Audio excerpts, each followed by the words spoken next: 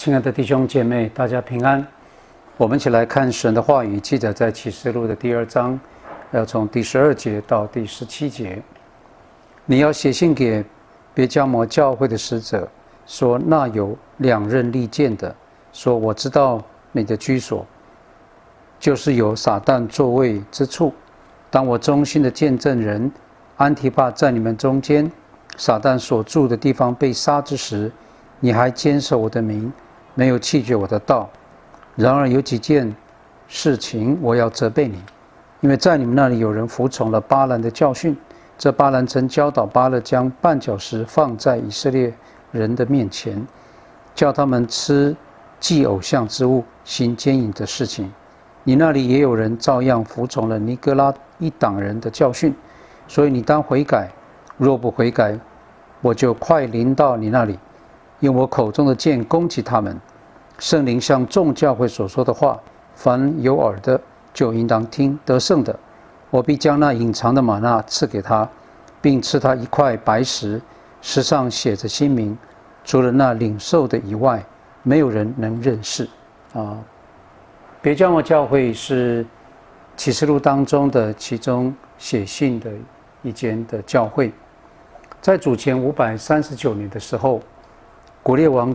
曾经攻打巴比伦的时候，有一部分的加勒底人，他们因为啊逃难的关系，就辗转到了别加摩这个地方居住的时候，同时也把加勒底，也就是巴比伦他们传统的宗教，也就在那个地方建立起来。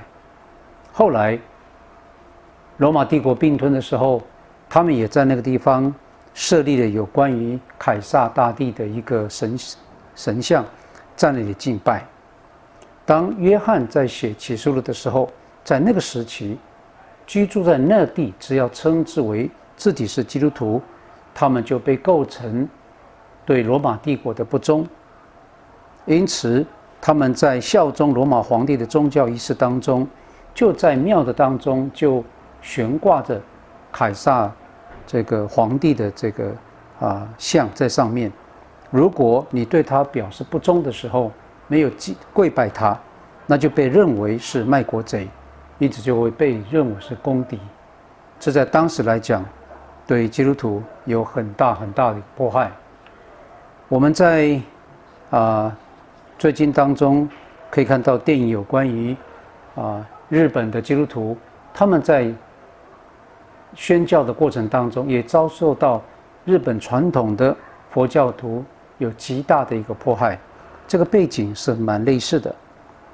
我们回到别加摩教会，在那个时期当中，当时的居民可以区分为两类，有一类呢，他们比较是属于罗马帝国的百姓或公民，他们可以佩戴这个剑；另外一种平民是不准佩剑的。那么有佩剑的就常常就非常的嚣张，拔起剑来。恐吓基督徒，强迫他们要否认基督。罗马士兵更是用一种双刃的短剑，有利刃，有着锐利的尖端，两面都可以用，非常锋利，可以致人死地。所以这个剑可以代表是具有生杀大权的。所以当这封信交给别加摩教会的基督徒的时候，他就说了：那有两刃利剑的主的剑比他们更厉害。在这里所讲的就是勉励他们：你们不要怕那个手上拿着剑的，你们要怕的是未来真正具有两刃利剑的上帝。他口里面所说的话是活泼的，是有功效的，比一切两刃的剑更快，甚至魂与灵、骨髓跟这个百节之间都会被刺入，连我们的心。都被辨明出来。上帝说：“这才是真正利剑，我们要怕的就是这件事情。”因此，这一封信交给他们，虽然他们的身体会面临极大的迫害，但是他们接受到上帝的话语的时候，他们知道神与他们同在的。别加莫这个地方也算是一个文化的古都，当时呢。他们有一座非常大的图书馆，可以讲在希腊罗马的一个宗教中心之外，也成为一个非常重要的一个文化之都。不过，在这个城的山上建了两座庙，一座是祭祀宙斯，在这个地方呢，就成为一个非常重要的祭祀撒旦的一个宝座。